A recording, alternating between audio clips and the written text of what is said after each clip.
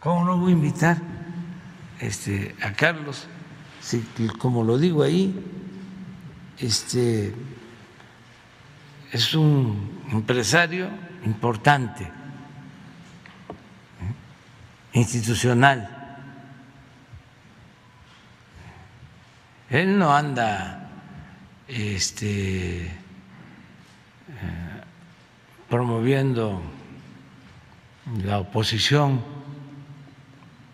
al gobierno, él anda en sus empresas, en lo suyo, y nos paga 28 mil millones,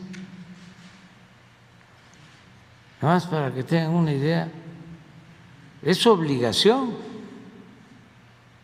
no es una concesión gratuita, es su responsabilidad, pero es una cantidad considerable de una filial que vende en Estados Unidos y que decide pagar los impuestos aquí. Nosotros llevamos ejercidos como 42 mil millones de vacunas y estos son 28 mil. ¿Cómo no lo voy a invitar a desayunar? ¿Eh?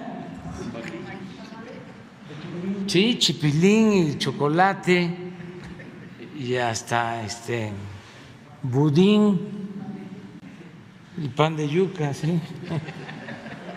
Este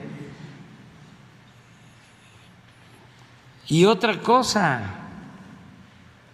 pero eso ya se lo dejo de tarea y sobre todo para los jóvenes